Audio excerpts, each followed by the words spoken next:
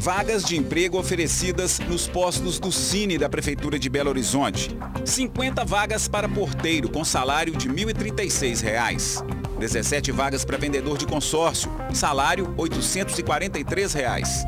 100 vagas para operador de telemarketing, salário 724 reais, mais comissão.